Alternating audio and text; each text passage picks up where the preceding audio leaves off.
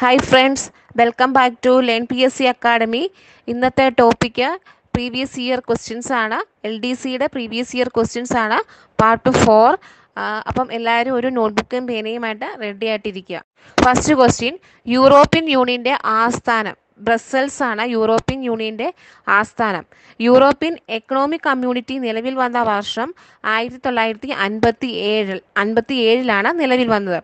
അതുപോലെ തന്നെ യൂറോപ്യൻ യൂണിയന് സമാധാനത്തിനുള്ള നോബൽ സമ്മാനം ലഭിച്ച വർഷം രണ്ടായിരത്തി പന്ത്രണ്ടിലാണ് രണ്ടായിരത്തി പന്ത്രണ്ടിലാണ് നോബൽ സമ്മാനം ലഭിച്ചത്. യൂറോപ്യൻ യൂണിയനിലെ പൊതു കറൻസിയാണ് യൂറോ.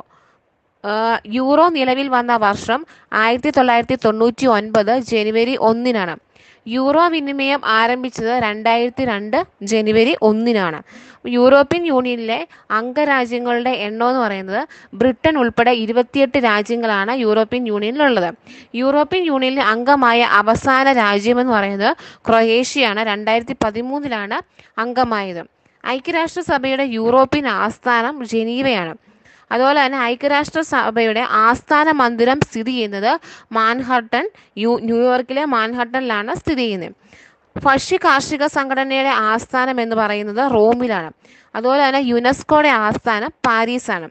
അപ്പം യൂറോപ്യൻ യൂണിയന്റെ ആസ്ഥാനം ബ്രസൽസും ആ യൂറോപ്യൻ എക്കണോമിക് കമ്മ്യൂ കമ്മ്യൂണിറ്റി നിലവിൽ വന്ന വർഷം ആയിരത്തി തൊള്ളായിരത്തി അൻപത്തി ഏഴ് അതുപോലെ തന്നെ യൂറോപ്യൻ യൂണിയന് സമാധാനത്തിനുള്ള നോബൽ പ്രൈസ് ലഭിച്ചു. അത് രണ്ടായിരത്തി പന്ത്രണ്ടിലാണ് അവരുടെ കറൻസി എന്ന് പറയുന്ന യൂറോയാണ്. യൂറോ നിലവിൽ വന്നത് ആയിരത്തി തൊള്ളായിരത്തി തൊണ്ണൂറ്റൊമ്പതും അതിന്റെ വിനിമയം ആരംഭിച്ച രണ്ടായിരത്തി രണ്ടിലാണ് യൂറോപ്യൻ യൂണിയനിൽ ബ്രിട്ടൻ ഉൾപ്പെടെ ഇരുപത്തിയെട്ട് രാജ്യങ്ങളാണ് ഉള്ളത് അവസാനമായി വന്ന രാജ്യം ക്രൊയേഷ്യയാണ്. ഐക്യരാഷ്ട്ര യൂറോ ഐക്യരാഷ്ട്രസഭയുടെ യൂറോപ്യൻ ആസ്ഥാനം ജനീവയാണ്. കാർഷിക ഭരണഘടനയുടെ ആസ്ഥാനം റോമും യുനെസ്കോയുടെ ആസ്ഥാനം പാരീസുമാണ്.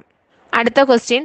ആയിരത്തി എണ്ണൂറ്റി അൻപത്തി ഏഴിലെ വിപ്ലവത്തിന്റെ താൽക്കാലിക വിജയത്തെ തുടർന്ന് വിപ്ലവകാരികൾ ഡൽഹിയിൽ ചക്രവർത്തിയായി വാഴിച്ചത് ആരെയാണ്? ബഹദൂർ രണ്ടാമനെയാണ് ചക്രവർത്തിയായി വാഴിച്ചത്.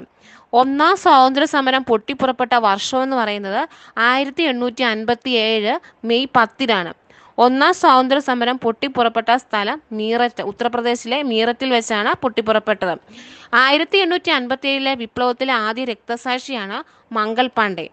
ആയിരത്തി എണ്ണൂറ്റി അൻപത്തി ഏഴിലെ വിപ്ലവത്തിന്റെ ബുദ്ധികേന്ദ്രം എന്നറിയപ്പെടുന്ന വ്യക്തി നാനാ സാഹിബാണ്. നാനാ സാഹിബിന്റെ യഥാർത്ഥ നാമം ദോണ്ടു പാണ്ഡെന്നാണ് ദോണ്ടു പാണ്ഡെന്നാണ് നാനാ സാഹിബിന്റെ യഥാർത്ഥ നാമം. നാനാ സാഹിബിന്റെ പട്ടാള മേധാവിയാണ് താന്തിയ തോപ്പി. ആയിരത്തി എണ്ണൂറ്റി അൻപത്തി ഏഴിലെ വിപ്ലവത്തെ ഒന്നാം സ്വാതന്ത്ര്യ സമരം എന്ന് വിശേഷിപ്പിച്ച ഇന്ത്യക്കാരനാണ് വി. ഡി. സവർക്കർ. ചെകുത്താന്റെ കാറ്റെന്ന് ഇംഗ്ലീഷുകാർ വിശേഷിപ്പിച്ച വിപ്ലവവും ആയിരത്തി എണ്ണൂറ്റി അമ്പത്തി ഏഴിലെ ഈ വിപ്ലവം തന്നെയാണ്. ഒന്നാം സ്വാതന്ത്ര്യ സമരവുമായി ബന്ധപ്പെട്ട് ബ്രിട്ടീഷ് ഗവൺമെന്റ് പാസ്സാക്കിയ നിയമമാണ് act for the better government of India ഒന്നാം സ്വാതന്ത്ര്യ സമയത്തെ ബ്രിട്ടീഷ് ഗവർണർ ജനറലായിരുന്നു കാനിങ് പ്രഭു. ഒന്നാം സ്വാതന്ത്ര്യ സമരത്തെ ഇന്ത്യയുടെ ദേശീയ ഉയർത്തെഴുന്നേൽപ്പ് എന്ന് വിശേഷിപ്പിച്ചത് ബെഞ്ചമിൻ ഡിസ്രേലിയാണ്. ഇന്ത്യയുടെ ഒന്നാം സ്വാതന്ത്ര്യ സമരം എന്ന് വിശേഷിപ്പിച്ചത് വി ഡി സവാർക്കറാണ്. ഈ ഒന്നാം സ്വാതന്ത്ര്യ സമരത്തെ ശിപായിലകള എന്ന് വിശേഷിപ്പിച്ചതും ജോൺ ലോറൻസും സീലിയും കൂടെയാണ്. ജോൺ ലോറൻസ് ആൻഡ് സീലിയാണ് ശിപായി ലഹള എന്ന് വിശേഷിപ്പിച്ചത്. അതുപോലെ തന്നെ ആയിരത്തി എണ്ണൂറ്റി അൻപത്തി ഏഴിലെ വിപ്ലവത്തിന് നേതൃത്വം കൊടുത്ത ആൾക്കാരുണ്ട്.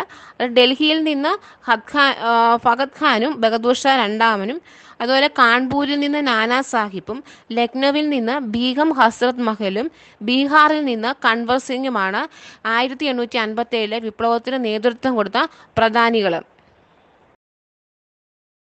അടുത്ത question poverty and un-British rule in India എന്ന പുസ്തകം രചിച്ചത് നാദാഭായ് നവറോജിയാണ്. ഇന്ത്യൻ സാമ്പത്തിക ശാസ്ത്രത്തിന്റെ പിതാവെന്നറിയപ്പെടുന്നതും നാദാഭായ് നവറോജിയാണ്. അതുപോലെ തന്നെ മസ്തിഷ്ക ചോർച്ച എന്ന സിദ്ധാന്തം ആവിഷ്കരിച്ചതും ദാദാഭായ് നവറോജിയാണ്. ഇന്ത്യയിൽ ദേശീയ വരുമാനം ആദ്യമായി കണക്കാക്കിയ വ്യക്തി നാദാഭായ് നവറോജിയാണ്. ഈസ്റ്റ് ഇന്ത്യ അസോസിയേഷന്റെ സ്ഥാപകൻ നാദാഭായ് നവറോജി. അതുപോലെ തന്നെ ഇന്ത്യൻ ശാസ്ത്രീയ ഇന്ത്യയിൽ ശാസ്ത്രീയ രീതിയിൽ ദേശീയ വരുമാനം കണക്കാക്കിയ ആദ്യ വ്യക്തി V K R V Rao. അപ്പം ഇന്ത്യയിൽ ദേശീയ വരുമാനം കണക്കാക്കിയത് ദാദാഭായ് നവറോജിയും അതുപോലെ തന്നെ ശാസ്ത്രീയ രീതിയിൽ ദേശീയ വരുമാനം കണക്കാക്കിയ ആളാണ് V K R V Rao എന്ന് പറയുന്നത്. മഹാരാഷ്ട്ര സോക്രട്ടീസ് എന്നറിയപ്പെടുന്ന വ്യക്തിയാണ് ഗോപാലകൃഷ്ണ ഗോഖലെ. ഗാന്ധിജിയുടെ രാഷ്ട്രീയ ഗുരുവായിരുന്നു ഗോപാലകൃഷ്ണ ഗോഖലെ. അതുപോലെ തന്നെ ഗോപാലകൃഷ്ണ ഗോഖലയുടെ ഗുരുവാണ് M G Ranade the nation Dnyanprakash എന്നീ പുസ്തകങ്ങൾ ആരംഭിച്ച ദേശീയ നേതാവും ഗോഗ ഗോപാലകൃഷ്ണ ഗോഖലെയാണ്. ഗോഖലെ ആരംഭിച്ച ഇംഗ്ലീഷ് പത്രമാണ് ഹിതവാദി. ഗോഖലെയെ പുണ്യനദിയോട് പുണ്യനദിയായ ഗംഗയോട് ഉപമിച്ച ആളാണ് ഗാന്ധിജി. ഗോഖലെയെ പുണ്യനദിയായ ഗംഗയെ കൊ- ഗംഗയോട് ഉപമിച്ചതാണ് ഉപമിച്ച ആളാണ് ഗാന്ധിജി. ഗാന്ധിജിയുടെ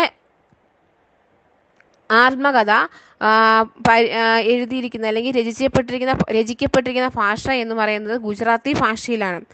ബാബ ആംഡയ്ക്ക് അഭയസാധക് എന്ന വിശേഷണം നൽകിയതും ഗാന്ധിജിയാണ്. ബാബ ആംഡയ്ക്ക് അഭയസാധക് എന്ന വിശേഷണം നൽകിയത് ഗാന്ധിജിയാണ്. ഗാന്ധിജി ആരംഭിച്ച വാരികകളാണ് യങ് ഇന്ത്യ നവജീവൻ. അതുപോലെ തന്നെ ഈസ്റ്റ് ഇന്ത്യ അസോസിയേഷൻ സ്ഥാപിച്ചത് നാദാബായി നവറോജിയും ഇന്ത്യൻ അസോസിയേഷൻ സ്ഥാപിച്ചത് സുരേന്ദ്രനാഥ ബാനർജിയാണ്. അപ്പോൾ ഇത് മാറിപ്പോകാൻ ചാൻസ് ഉള്ള രണ്ട് ക്വസ്റ്റ്യൻ ആണ്. ഈസ്റ്റ് ഇന്ത്യ അസോസിയേഷൻ സ്ഥാപിച്ചത് നാദാബായി നവറോജിയും ഇന്ത്യൻ അസോസിയേഷൻ സ്ഥാപിച്ചത് സുനേ സുരേന്ദ്ര ബാനർജിയുമാണ് സ്ഥാപിച്ചത്. അടുത്ത ക്വസ്റ്റ്യൻ ഇന്ത്യൻ ഭരണഘടനയുടെ ആമുഖം എഴുതി തയ്യാറാക്കിയ വ്യക്തി നെഹ്റു ആണ് ഇന്ത്യൻ ഭരണഘടനയുടെ ആത്മാവെന്ന് വിശേഷിപ്പിക്കുന്നത് ആമുഖത്തെയാണ്. ആമുഖ എന്ന ആശയം ആദ്യമായി ഉന്നയിച്ചത് ബി എൻ റാവു ആണ്.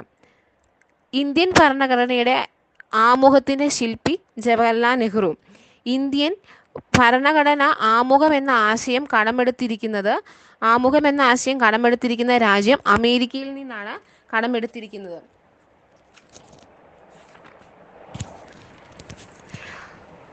ഇന്ത്യൻ ഭരണഘടനയുടെ രത്നം എന്നറിയപ്പെടുന്നത് ആമുഖമാണ്. ആമുഖത്തിൽ പരാമർശിച്ചിരിക്കുന്ന ഏക തീയതി ആയിരത്തി തൊള്ളായിരത്തി നാൽപ്പത്തി ഒൻപത് നവംബർ ഇരുപത്തി ആറ് ആമുഖം ഒരു തവണ മാത്രമാണ് ഭേദഗതി ചെയ്തിട്ടുള്ളത്. അത് നാൽപ്പത്തിരണ്ടാം ഭേദഗതിയാണ്. ആയിരത്തി തൊള്ളായിരത്തി എഴുപത്തി ആറിലെ നാൽപ്പത്തിരണ്ടാം ഭരണഘടനാ ഭേദഗതി പ്രകാരം ആമുഖത്തിൽ കൂട്ടിച്ചേർത്തിരിക്കുന്ന വാക്കുകളാണ് സോഷ്യലിസം മതേതരത്വം അഖണ്ഡത. മിനി കോൺസ്റ്റിറ്റ്യൂഷൻ എന്നറിയപ്പെടുന്ന ഭരണഘടനാ ഭേദഗതിയും ഇതുതന്നെയാണ്. ആയിരത്തി തൊള്ളായിരത്തി എഴുപത്തി ആറിലെ നാൽപ്പത്തിരണ്ടാം ഭരണഘടനാ ഭേദഗതിയാണ് മിനി കോൺസ്റ്റിറ്റ്യൂഷൻ എന്നറിയപ്പെടുന്നത്. ആധുനിക മനു എന്നറിയപ്പെടുന്നത് ഡോക്ടർ ബി ആർ അംബേദ്കർ ആണ്. ഇന്ത്യൻ ഭരണഘടനയുടെ ശില്പി എന്നറിയപ്പെടുന്നതും ഡോക്ടർ ബി ആർ അംബേദ്കർ ആണ്. ഇന്ത്യൻ ഭരണഘടനയുടെ പിതാവ് എന്നറിയപ്പെടുന്നത് ഡോക്ടർ ബി ആർ അംബേദ്കർ ആണ്. ഭരണഘടനാ നിയമനിർമ്മാണ സഭയുടെ ആദ്യ സമ്മേളനത്തിൽ താൽക്കാലിക അധ്യക്ഷനായിരുന്നു ഡോക്ടർ സച്ചിദാനന്ദ സിംഗ് സിൻഹ അല്ലെങ്കിൽ എസ് എൻ സിൻഹ. ഭരണഘടനാ നിയമനിർമ്മാണ സഭയുടെ സ്ഥിര അധ്യക്ഷനായിരുന്നു ഡോക്ടർ രാജേന്ദ്ര പ്രസാദ് പ്രസാദ്. ഇന്ത്യയുടെ ആദ്യത്തെ പ്രസിഡന്റാണ് ഡോക്ടർ രാജേന്ദ്ര പ്രസാദ്. ഏറ്റവും കൂടുതൽ കാലം ഇന്ത്യൻ രാഷ്ട്രപതിയായിരുന്ന വ്യക്തി ഡോക്ടർ രാജേന്ദ്ര പ്രസാദാണ് കേരള നിയമസഭയിൽ ചിത്രം അനുച്ഛേദനം ചെയ്യപ്പെട്ട ആദ്യ പ്രസിഡന്റും ഡോക്ടർ രാജേന്ദ്ര പ്രസാദാണ് അതുപോലെ തന്നെ ഈ ആമുഖത്തെ ഓരോരുത്തരും ഓരോ പേരിൽ വിശേഷിപ്പിച്ചിട്ടുണ്ട്. രാഷ്ട്രീയ ജാതകം എന്ന് വിശേഷിപ്പിച്ചത് കെ എം മുനുഷിയാണ് ആമുഖത്തെ തിരിച്ച തിരിച്ചറിയൽ കാർഡ് എന്ന് വിശേഷിപ്പിച്ചത് എൻ എ പാൽക്കിവാലയാണ്. തിരിച്ചറിയൽ കാർഡ് എന്ന് പറഞ്ഞ ഭരണഘടനയെ. ഭരണഘടനയുടെ കീ നോട്ട് എന്ന് പറഞ്ഞത് ഏണസ്റ്റ് ബേക്കറാണ്. ഭരണഘടനയുടെ ആത്മാവെന്ന് പറയുന്നത് താക്കൂർ ദാസ് ആണ് പറഞ്ഞത്. അപ്പം ഭരണഘടനയെ ഭരണഘടനയുടെ ആമുഖത്തെ പലരും പല പേരിലാണ് വിശേഷിപ്പിച്ചിരിക്കുന്നത്. കെ എം മുൻഷി പറഞ്ഞ രാഷ്ട്രീയ ജാതകമെന്നും എൻ എ പാൽക്കിവാല പറഞ്ഞേക്കുന്ന തിരിച്ചറിയൽ കാർഡ് എന്നും അതുപോലെ തന്നെ ഏണസ്റ്റ് ബേക്കർ പറഞ്ഞ ഭരണഘടനയുടെ കീനോട്ട് എന്നാണ് പറഞ്ഞത്. അതുപോലെ ഠാക്കൂർ ദാസ് പറഞ്ഞ ഭരണഘടനയുടെ ആത്മാവെന്നാണ് ആമുഖത്തെ വിശേഷിപ്പിച്ചത്. അടുത്ത ക്വസ്റ്റ്യൻ അടിസ്ഥാന തലത്തിൽ കായിക രംഗം വികസിപ്പിക്കുകയും കായിക പ്രതിഭകളെ വാർത്തെടുക്കുന്നതിനുമായി കേന്ദ്ര സർക്കാർ നടപ്പാക്കുന്ന പുതിയ പദ്ധതിയാണ് ഖേലോ ഇന്ത്യ. ഖേലോ ഇന്ത്യ പദ്ധതിയുടെ പ്രത്യേക സമിതിയിൽ അംഗമായ കേരള താരമാണ് അഞ്ജു ബോബി ജോർജ്. കേരള ഖേലോ ഇന്ത്യ പദ്ധതിയുടെ പ്രത്യേക സമിതിയിൽ അംഗമായ കായിക താരങ്ങൾ പുല്ലേല ഗോപിചന്ദ് അഞ്ജു ബോബി ജോർജ് ആണ് ഏഴ് അംഗങ്ങൾ അടങ്ങുന്ന ഖേലോ ഇന്ത്യ സമിതിയുടെ അധ്യക്ഷൻ സ്പോർട്സ് സെക്രട്ടറിയാണ്.